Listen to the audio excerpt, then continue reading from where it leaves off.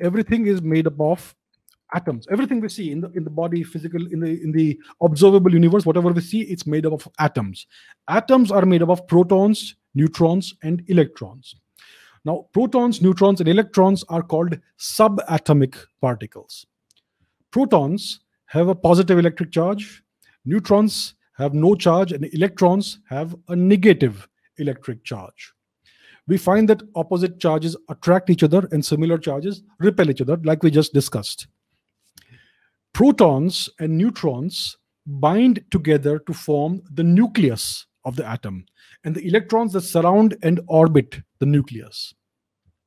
The neutrons act as a glue, a nuclear glue, to hold the positively charged protons tightly together in the nucleus. So even though the protons are positively charged, they repel each other, still the neutrons, they come combine inside the nucleus and act as a nuclear glue. And that's how the nucleus is held together. Now, hydrogen is the simplest atom. It is basically, its nucleus consists of only one proton and a single electron orbits this nucleus. The helium atom has a nucleus made up of two protons and two neutrons, and two electrons orbit the nucleus. The number of protons and neutrons in the nucleus determines the behavior and the properties of an atom. So that is the basic thing. Now, if you create a, an atom, if you create a nucleus of 13 protons plus 14 neutrons and surround it with 13 electrons, you get an aluminum atom. And if you group millions of these aluminum atoms together, you get the metallic substance called aluminum. So aluminum has an atomic mass number of 27, which is the sum of the protons and the neutrons in the nucleus. 14 neutrons plus 13 protons is 27 nucleons. So that is the atomic mass number of aluminum. Similarly, carbon has an atomic mass number of 12, oxygen has atomic mass number of 16, calcium 40, and so on and so forth. So hydrogen, helium, oxygen, iron, etc. These are called elements. The periodic table shows the atomic mass numbers and some other physical properties of the known elements. Now, some atoms have extra neutrons. For example, some copper atoms have 34 neutrons, and some copper atoms have 36 neutrons. So atoms with the same number of protons but different number of neutrons are called isotopes. Hydrogen has three isotopes, protium, deuterium, and tritium. Carbon has three isotopes, carbon 12, carbon 13, and carbon 14. Now, certain elements have isotopes that are unstable. In, in, some, in some elements, all the isotopes are unstable, right? So, an atom of an unstable isotope is basically it is unstable. It spontaneously decays into another element by a number of processes. And this spontaneous decay of isotopes is what is called radioactive decay or radioactivity. And the output of this decay is called radiation right? So radioactive decay produces four different kinds of radiation four different kinds of radioactive rays so the alpha rays consist of alpha particles. An alpha particle is basically made up of two, pro two protons and two neutrons. It is basically a helium nucleus. Uh, beta rays are electrons and gamma rays, which are extremely dangerous to human beings and living beings. So gamma rays are very high energy photons, very high energy. So in spontaneous fission, what happens is that an atom actually splits into two or more nuclei instead of throwing off an alpha particle or beta particle. Now, atoms of heavy, unstable elements such as uranium, they undergo spontaneous fission. Uranium is naturally radioactive. It constantly undergoes spontaneous fission at a very slow rate. And other elements such as thorium and plutonium are also naturally radioactive. Right. So when an atom undergoes fission, it splits into two and it releases energy in the form of heat and in the form of gamma rays. And the splitting of an atom releases a massive amount of heat and gamma radiation, and it also releases neutrons. So the two atoms that result from the fission also release beta radiation and gamma radiation of their own. And it's possible to artificially induce fission in uranium atoms by bombarding them with neutrons. So we find that half a kilo of uranium can give off energy equivalent to 5 million liters of petrol. 50 lakh liters of petrol is given off in from half a kilo of uranium.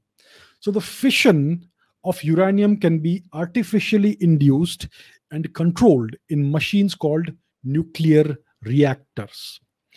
The most commonly available isotope of uranium is called uranium 238. And the much rarer uranium 235 is suitable for nuclear power.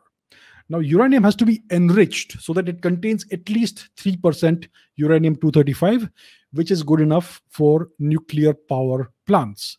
But on the other hand, weapons grade uranium is composed of at least 90% uranium 235. So it needs to be enriched to that level. So nuclear reactors take advantage of what's known as a nuclear chain reaction. You must have heard of this term, nuclear chain reaction. So in a nuclear chain reaction, the fission of one uranium atom causes the fission of more uranium atoms. The first step of a chain reaction is when a neutron hits a uranium 235 atom, splitting it and releasing two to three new neutrons. Now, these two to three new neutrons hit other uranium 235 atoms. They also split and they release more neutrons. And these newly, newly released neutrons hit yet more uranium 235 atoms, splitting them, and the process continues. And this process un undergoes uh, continues until all the uranium atoms undergo fission, and this releases an enormous amount of heat. So this is the chain reaction. Now, in a chain reaction, the critical mass is the minimum mass of fissionable material required to sustain a fission chain reaction. And when you have a runaway, uncontrolled chain reaction, that is what results in an explosive release of an enormous amount of energy and radiation in the form of a nuclear explosion, right? So, nuclear reactors control the heat emitted by the enriched uranium and they use it to heat water and generate steam. So what is done is that uranium is formed into two to three centimeter long pellets, which are arranged into rods and they are submerged in water. Now, if the chain reaction is not controlled, then the uranium will eventually overheat and melt. This is one of the most infamous photos from the Chernobyl reactor this is the molten core of the reactor. So that's what happens. It will eventually overheat and melt if the chain reaction is not controlled. So how do we control it? So the heat is controlled by inserting cadmium rods into the reactor. These cadmium rods, they absorb neutrons and thereby they slow down the nuclear fission reaction. So this uranium fuel acts as an extremely high energy heat source. It heats the water and turns this water into steam. This steam drives a turbine which spins a generator to produce power. Very simple. It's basically a steam engine, right? That's all it is. Now, if this reaction goes out of control, the uranium melts and the water and other fluids turn to steam and explode. This results in the explosive release of radioactive materials into the soil, into the water, atmosphere, etc. What you see here is the result of the Fukushima disaster. So this is what happened at Chernobyl, in Fukushima, and Three Mile Island. Now, apart from uranium, there is another element called thorium that can also be used in nuclear reactors. So India has a reasonably advanced thorium reactor program. Now, there is another kind of reactor called a breeder reactor, it generates more fissile material than it consumes. Breeder reactors, they can breed plutonium from uranium 238, or they can breed uranium from thorium fuel.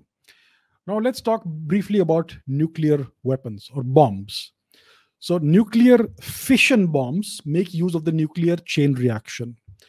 These nuclear weapons, they are either made up, they either use weapons grade uranium 235, which is at least 90% uranium 235, or they use plutonium. Fission weapons typically have two subcritical masses of uranium 235 or plutonium 239, and they have a neutron generator. This neutron gener generator is typically a pellet of polonium or beryllium, or maybe both. The simplest way to detonate the nuclear weapon is to fire one subcritical mass into the other. So a hemisphere of uranium 235 or a sphere is made around the neutron generator and a small bullet of uranium 235 is removed. This bullet is placed at one end of a long tube, as you can see, with explosives behind it. And the sphere or hemisphere is placed at the other end. And the weapon is detonated by triggering the explosives at one end, which fire the bullet into the sphere or the spike or the target. And when the bullet and the sphere come together, they form a supercritical mass. This initiates the fission reaction, and there is nothing to control it. So, this is a runaway, uncontrolled fission reaction. It results in a nuclear blast. Now, there is another kind of nuclear reaction called nuclear fusion.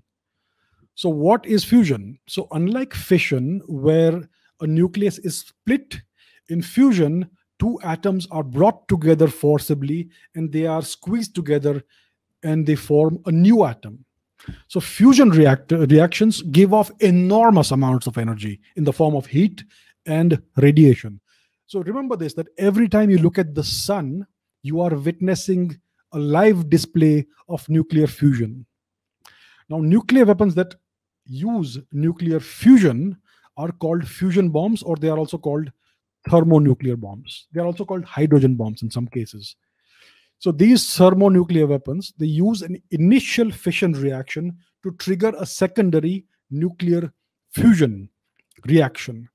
So this thermonuclear fission fusion reaction releases hundreds of times more energy than just the fission reaction. So that's a thermonuclear weapon.